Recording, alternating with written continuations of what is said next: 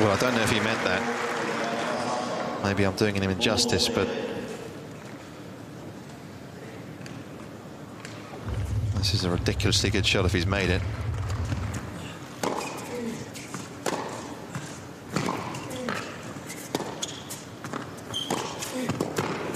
Oh, that is some dig. Well, if Benoit Paire can get strings on the ball, his options are just endless. He really can come up with any sort of shot, even shots you never even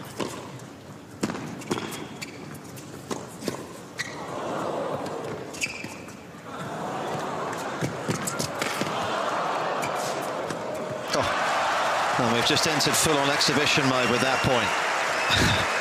High on the entertainment stakes. Well, of course, Paire went for the drop volley when Wawrinka was pretty much standing on the service line right here. So it wasn't. It's a rather sad end for Benoit Paire.